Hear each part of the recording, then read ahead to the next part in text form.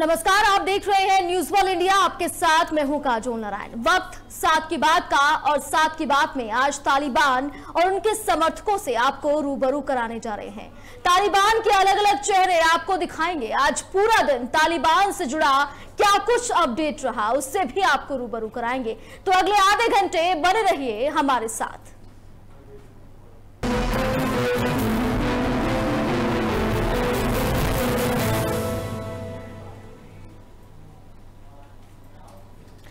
आतंकवादी ग्रुप्स का समर्थन नहीं करने का पाकिस्तान का झूठ। सोमवार को फिर उजागर हुआ। पाकिस्तान के कब्जे वाले कश्मीर, यानी पीओके में, जैश ए मोहम्मद लश्कर ताइबा में तालिबान के समर्थन में रैली निकाली गई। दोनों संगठनों के आतंकियों ने अफ़गानिस्तान के तालिबान के काबिज होने पर हवा में गोलियाँ चलाकर जश्न मनाया। इसके नेताओं ने भड़काऊ भाषण भी दिए।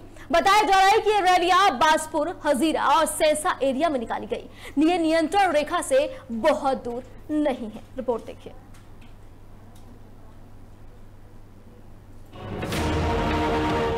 पाकिस्तान के कुछ पत्रकारों ने तालिबान नेता मुल्ला बरादर और आईएसआई प्रमुख फैज हमीद की एक साथ नमाज़ अदा करते हुए तस्वीरें पोस्ट की हैं। इसने इमरान खान सरकार के लिए शर्मिंदगी और बढ़ा दी है पाकिस्तानी मंत्रियों का बयान, तालिबानी बुरे नहीं जो इंटरनेशनल ट्रैवलर्स थे उनका अब चेकअप नहीं होता उनके जूते उनके चेकअप चेक नहीं होते। ग्रीन पासपोर्ट की इज़्ज़त शुरू हो गई है। पाकिस्तान में इन्वेस्टर्स आ रहे हैं ओवरसीज रिमिटेंसेस आ रही हैं और रेवेन्यू इतना जनरेट हो रहा है।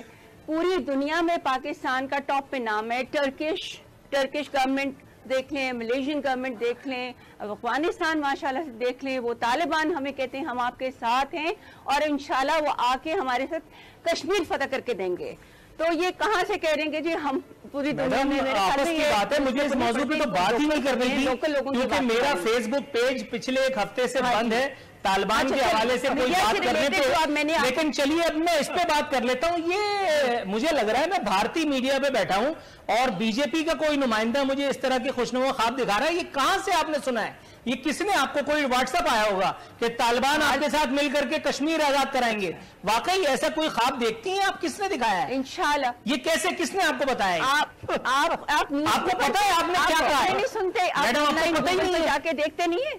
आप देखते नहीं है कि पाकिस्तान की हर जगह कितनी इज़्ज़त हो रही है इमरान खान की कितनी इज़्ज़त हो रही है? मैं आपसे पूछ रहा हूँ तालिबान आपको कश्मीर जीत करके देंगे ये किसने आपको बताया?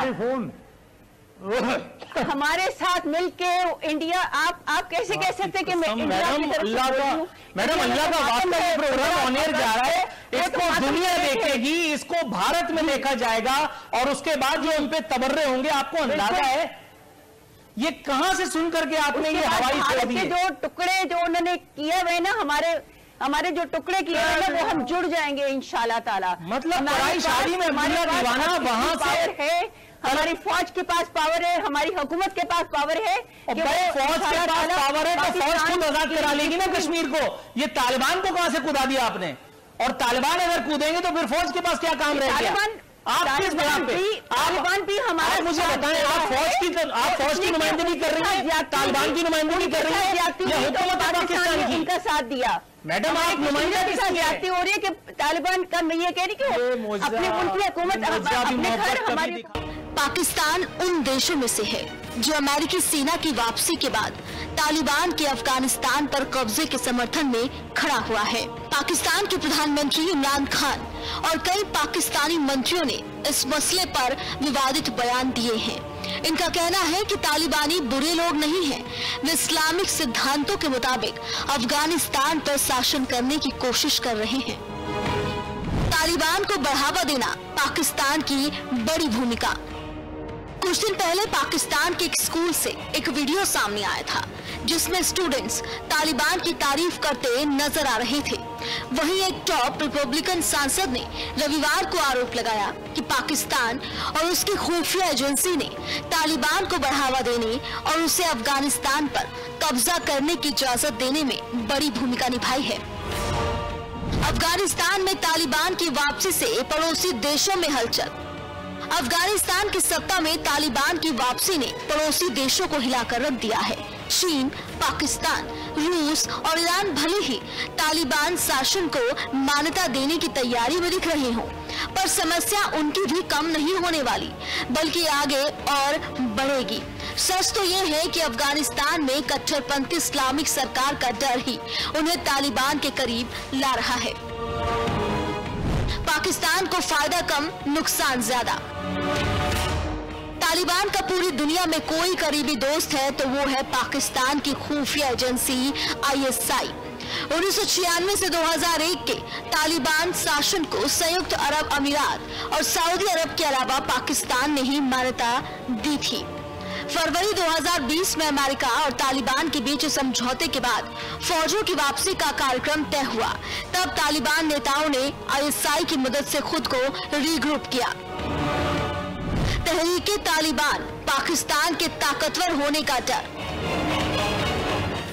इस्लामाबाद में दो तरह की बातें हो रही हैं। अफ़गानिस्तान में भारत के घटते प्रभाव को देखकर पाक नेता राहत की सांस ले रहे हैं। पर तालिबान शासन से तहरीक तालिबान पाकिस्तान के ताकतवर होने का डर भी है।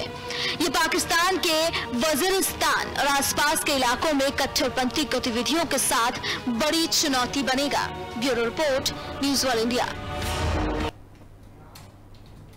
Taliban ने अफ़गानिस्तान के कई बड़े शहरों पर अपना कब्जा जमा लिया है। यहाँ तक कि राजधानी काबुल पर भी। लेकिन पंजशीर घाटी में आते ही तालिबान घुटने टेकता नज़र आता है। आखिर क्या वजह है? देखिए इस रिपोर्ट में। काबुल से महज तीन घंटे की दूरी पर पंजशीर घाटी है। ये वो अकेला राज्य है जिसने तालिबान के आगे घुटने नहीं टेके हैं यहाँ के विद्रोही नेता अहमद मसूद ने कहा है कि वे बातचीत से रास्ता निकालने के लिए तैयार हैं, लेकिन अगर तालिबान लड़ना चाहता है तो वे मुकाबला करने को भी तैयार हैं। इसी पंजशीर घाटी में अफ़गानिस्तान के पूर्व उपराष्ट्रपति अमीरुल्लाह सालेह भी मौजूद हैं। तालिबान से लड़ाई की तैयारियों के बीच अमीरुल्लाह और अफगानी लड़ाके अपना मनोबल बनाए रखने के लिए खेल कूद का भी सहारा ले रहे हैं। पंजशीर घाटी में आई तस्वीरों में अमीरुल्लाह और लड़ाके वॉलीबॉल खेलते नज़र आ रहे हैं। पंजशीर से तालिबान को दे रही चुनौती। वे लंबे समय तक नॉर्दर्न अलायंस, जिसे यूनाइटेड फ्रंट भी कहा जाता है, के साथ जुड़े रहे और तालिबान के विस्तार के खिलाफ उनकी जंग जारी रही। अब जब तालिबान ने अफ़गानिस्तान के 34 प्रांतों में से 33 पर कब्जा जमा लिया है तो एकमात्र अभिजीत प्रांत पंजशीर घाटी से अमीरुल्लाह तालिबान को फिर ललकार रहे हैं। अशरफ गनी ने देश छोड़ा तो अमीरुल्लाह ने संभाली ज़िम्मेदारी। अफ़गानिस्तान के राष्ट्रपति अशरफ गनी 15 अगस्त को देश छोड़कर भाग गए थे। उनके जाते ही तालिबान ने राष्ट्रपति भवन पर कब्जा जमा लिया था। इसके बाद लगा कि अब तालिबान को कोई रोक नहीं सकता, लेकिन अमीरुल्लाह आगे आए। उन्होंने 17 अगस्त को एक संदेश जारी कर कहा है कि अफ़गानिस्तान के संविधान के मुताबिक अगर राष्ट्रपति गैर हाजिर रहता है या फिर इस्तीफा दे देता है तो फिर उपराष्ट्रपति ही कार्यवाहक, राष्ट्र अध्यक्ष हो जाता है। उन्होंने कहा कि मैं अपने देश के लिए खड़ा हूँ और युद्ध अभी खत्म नहीं हुआ है। Bureau report, news all India. जिस तरह से अफ़गानिस्तान पर तालिबान कब्जा कर रहा है, उससे पूरी दुनिया खौफ में है और तमाम ऐसे देश हैं जिन्हें अफगान लोगों की चिंता सता रही है। लेकिन शायद पाकिस्तान कुछ ज़्यादा ही खुश है, तभी तो जश्न की तस्वीरें और तमाम बयान जो हैं वो सामने आ रहे हैं। लेकिन पाक पीएम के बयान पर अफ़गानिस्तान की famous pop star Aryana Sayeed ने निशाना साधा है। देखिए इस रिपोर्ट में। अफ़गानिस्तान में तालिबान के कब्जे में पाकिस्तान की भूमिका धीरे धीरे सामने आती जा रही है। कुछ दिनों पहले पाकिस्तान की प्रधानमंत्री इमरान खान ने तालिबान के कब्जे पर खुशी ज़ाहिर की थी। तो अब अफ़गानिस्तान की famous pop star Aryana Sayeed ने पाकिस्तान पर निशाना साधा है। उन्होंने तालिबान की बढ़ती हिंसा का जिम्मेदार पाकिस्तान को ठहराया और भारत को सच्चा दोस्त बताया है। दरअसल कुछ समाचार एजेंसियों को दिए इंटरव्यू में अरायना कहते हैं, कई सालों से हम देखते आए हैं कि पाकिस्तान अफ़गानिस्तान में तालिबान को बढ़ावा देता है। कई वीडियो में भी इसका खुलासा हो चुका है। जब भी हमारी सरकार किसी तालिबानी को पकड़कर उसकी जाँच करती है तो वो पाकिस्तानी निकलता है। इसलिए आज अफ़गानिस्तान में जिस तरह के हालात हैं, उसके लिए सिर्फ़ पाकिस्तान जिम्मेदार है। पाकिस्तान में तालिबान के मिलिट्री बेस हैं। वहाँ तालिबान के लड़ाकों को ट्रेनिंग देकर आतंकी बनाया जाता है। पाकिस्तान पर दबाव बनाना चाहिए। उन्होंने उम्मीद जताई है कि इंटरनेशनल कम्युनिटी पाकिस्तान को दी जा रही सभी मदद तत्काल बंद करेगी। इन्हीं पैसों से पाकिस्तान तालिबान को सपोर्ट करता है। पाकिस्तान के ऊपर इस बात के लिए दबाव बनाना चाहिए। उन्होंने अफ़गानिस्तान के हालात ठीक करने के लिए इंटरनेशनल कम्युनिटी को आगे आने के लिए कहा है। भारत के बारे में क्या कहा गया? अराना ने भारत को अफ़गानिस्तान का मददगार बताया। उन्होंने कहा कि भारत ने हमेशा अफ़गानिस्तान का भला सोचा है। वो सही मायने में सच्चा दोस्त है। अफ़गानिस्तान से भागकर भारत पहुँचे हमारे नागरिकों के साथ, वहाँ अच्छा बर्ताव किया जाता है। मैं अफ़गानिस्तान की तरफ़ से भारत को धन्यवाद करती हूँ। पिछले कुछ सालों में बने हालात देखकर विश्वास हो गया है कि हमारे पड़ोस में भारत ही सच्चा दोस्त है। 2015 में तालिबान को चुनौती दी गई। अराना सईद अफ़गानिस्तान में बड़ी सेलिब्रिटी हैं। उन्होंने 2015 में अपने काम से तालिबान को चुनौती दी थी। नारायणा अफ़गानिस्तान में महिला होकर स्टेडियम में गई थी। उन्होंने वहाँ गाना भी गाया था और सबसे बड़ी बात, इस दौरान उन्होंने हिजाब भी नहीं पहना था। इससे पहले अफ़गानिस्तान में ऐसा कभी नहीं हुआ। काबुल में तालिबान का कब्जा होने के बाद अराना अमेरिकी सी सेवनटीन ग्लोबास्टर से सवार होकर कतर के दोहा पहुँची। यहाँ से वे तुर्की के इस्तांबुल जाने की कोशिश कर रही हैं। उन्होंने अपने इंस्टाग्राम अकाउंट से अमेरिकी एयरक्राफ्ट की फ़ोटो शेयर की थी। अराना ने अपनी पोस्ट में लिखा था कि ऊपर वाले की दुआ से वो काबुल से निकलने में कामयाब हो गई है। My hope is for the international community to not forget Afghanistan because it's not their fault You know, they're living in misery right now, and, and millions of people in Afghanistan, including children and women, they don't deserve what they're going through right now. And I hope that they can sit down and they can find a solution to bring peace in Afghanistan. And uh, one more thing that I am going to add in here is I hope that they can put some pressure on Pakistan because I personally believe that we are dealing with all these major issues in Afghanistan because of Pakistan. I mean, Taliban, by now, all of us, we know that Taliban are being funded by Pakistan. They're being, um, you know, um, instructed by Pakistan. Uh, their bases are in Pakistan. This is where they get trained. So I hope that uh, the international community, first of all, if they cut their funds and they don't uh, give funds to Pakistan, they won't be, be able to have enough money to fund Taliban uh, further. I do. I do absolutely. I, I, I blame Pakistan because it's not, you, you know, it's, it's by now over the years, we've seen, you know, videos, we've seen evidence, we have evidence that Pakistan is behind, you know, um, empowering Taliban. Absolutely. Every time our government, uh, uh, you know, would catch a Talib, they would see the identification and it would be a Pakistani person. You know, so it, it's very obvious that, that they, it's them. And I do blame them and I hope that they back off and they don't interfere uh, in, in the politics in Afghanistan anymore. You know what? On, on behalf of the entire nation of Afghanistan, I want to express uh, my utmost gratitude to, to India and I want to say thank you because, you know, over the years we have realized that the only good friends uh, amongst the neighborhood that we had, it was India. India has always been good to us. They have, they've been a true friend. Uh, they've been very sweet and helpful and kind to our people who uh, were refugees in India. Uh, every uh, Afghan that I've met in my life that were in India before, they've always spoken very good about Indian people and about how they were treated in India very kindly and very nicely. So uh, we are grateful uh, forever, and and, and and and once again, thank you, India, for for everything that that you guys did for our country. Bureau Report, Newswell India.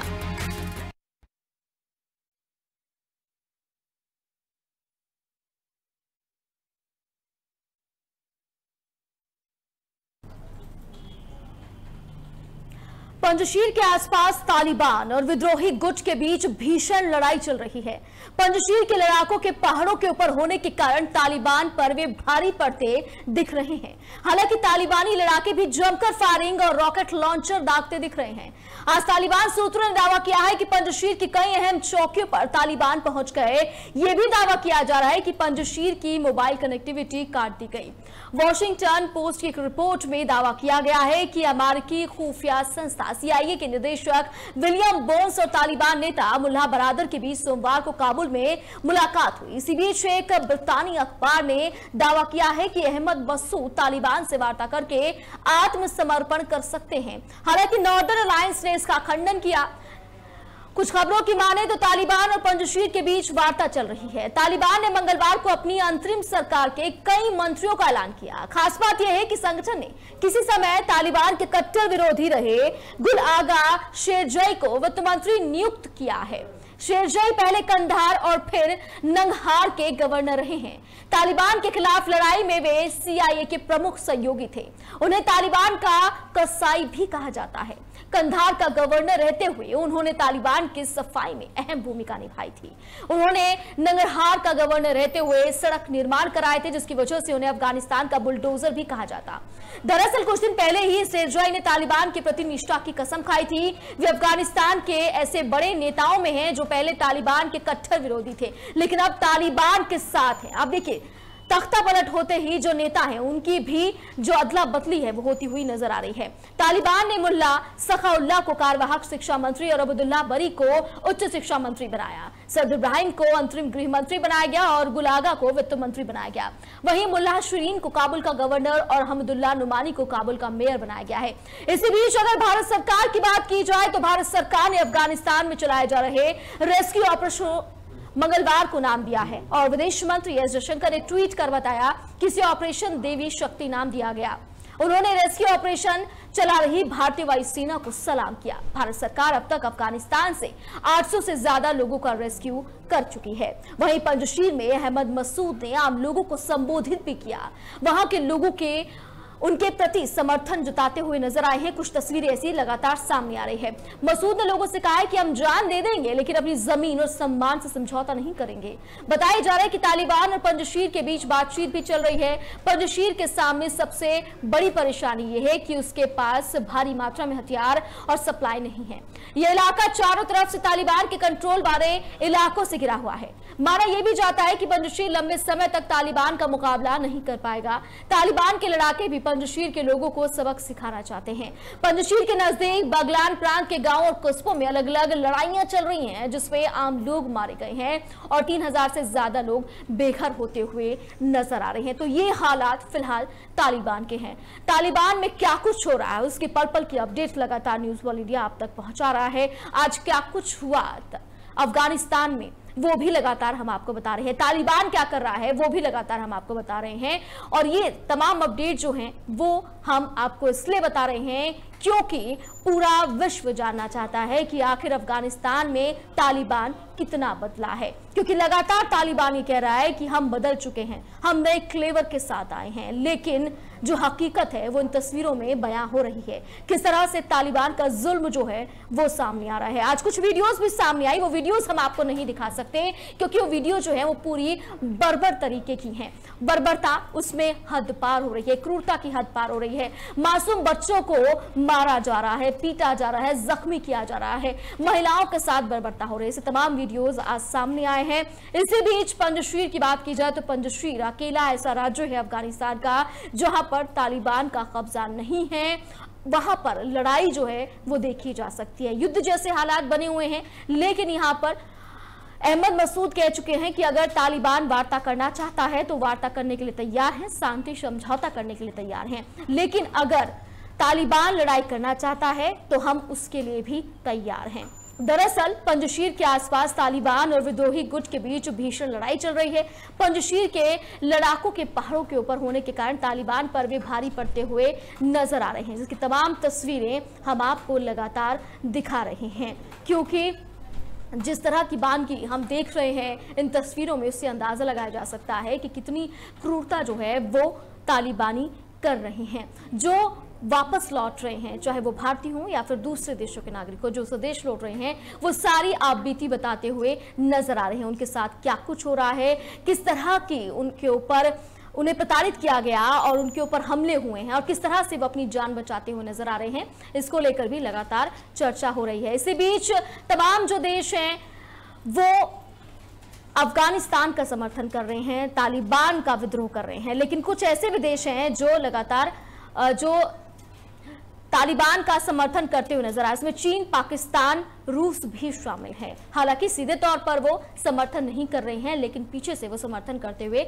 नज़र आ रहे हैं। वो तालिबानी मान्यता देने के लिए पूरी तरह से तैयार हैं और शरिया कानून की जिस तरह से तालिबान बात करता है, उसको भी पूरी तरह से लागू करने के पक्ष में है। लेकिन वहाँ किस तरह की बर्बरता हो रही है, उसको देखकर बार बार सोचने की ज़रूरत पड़ रही है कि आखिर आने वाले समय में अफ़गानिस्तान में किस तरह की स्थिति देखने के लिए मिल सकती है।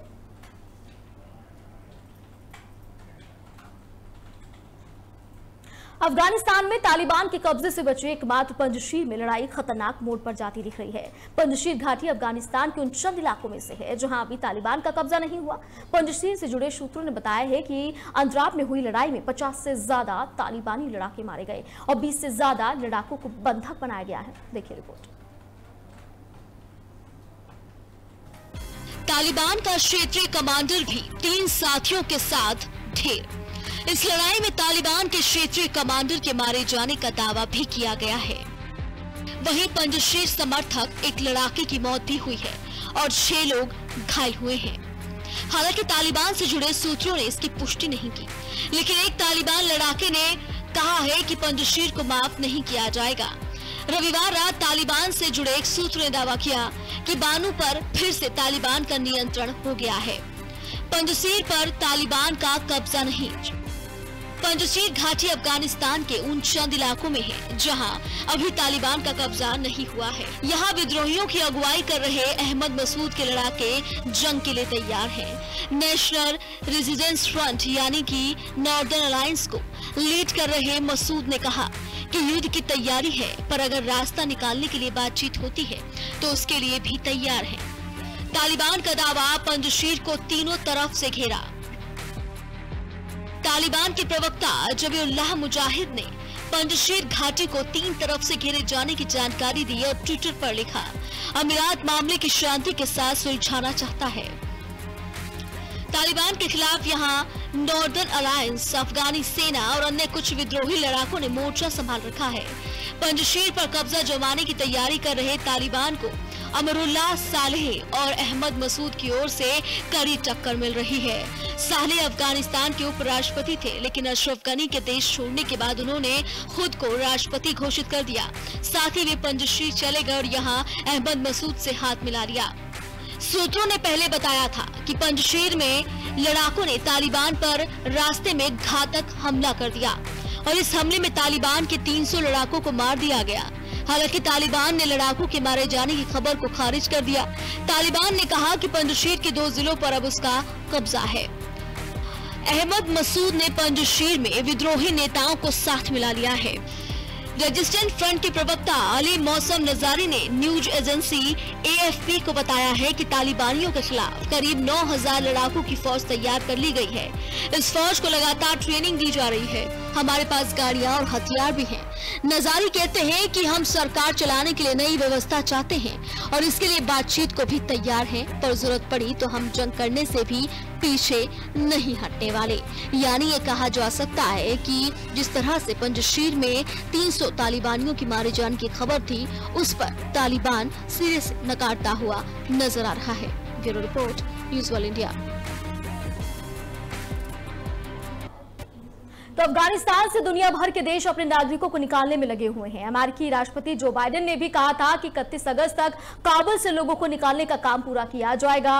इस बीच तालिबान के प्रवक्ता सुहेल शाहीन ने एक बयान जारी किया और धमकी भरे लहजे में कहा है कि नाटो फोर्स इकतीस अगस्त तक काबुल एयरपोर्ट से नियंत्रण छोड़े और अपने देश वापस लौट जाए, वरना स्थिति और ज़्यादा तनावपूर्ण हो सकती है। इसी के साथ साथ की बात पे इतना ही। आप बने रहिए न्यूज़ वन इंडिया के साथ। नमस्कार।